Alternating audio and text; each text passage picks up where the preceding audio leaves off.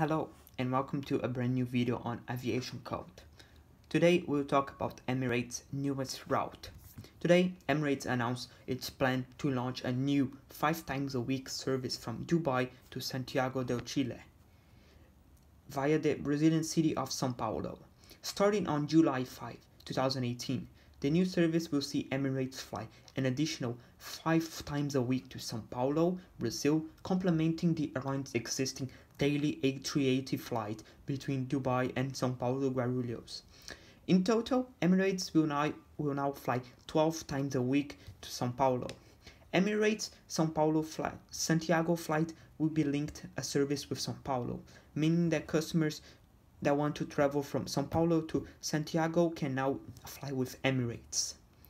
The new route will be operated by a two-class configured Boeing 777-200LR, which stands for long range, which offers 38 business class seats in a 222 configuration and 264 seats in economy class. The new the new 777 flight will also offer up to 14 tons of capacity for cargo, opening up access to more global markets for Chilean exports such as fish, seafood, cherries, and flowers. So, flight EK263 will depart Dubai on Tuesdays, Thursdays, Fridays, Saturdays, and Sundays at 9.05 local time, arriving in Sao Paulo at around 5 p.m. before departing again at 18 at 6.30 p.m.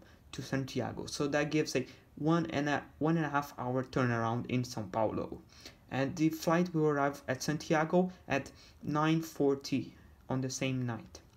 The return flight EK26264 will depart Santiago on Mondays, Mondays, Wednesdays, Fridays, Saturdays, and Sundays at 1 a.m. local time, arriving in São Paulo at 5 p 5 a.m.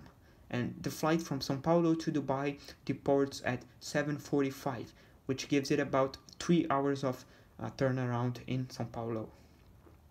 So, with that being said, do you think this is a good idea? Do you think that Emirates will be able to fill all seats for the 12 weekly flights from Dubai to Sao Paulo, keeping in mind that seven of these flights are in the A380 and five are in the Boeing 777?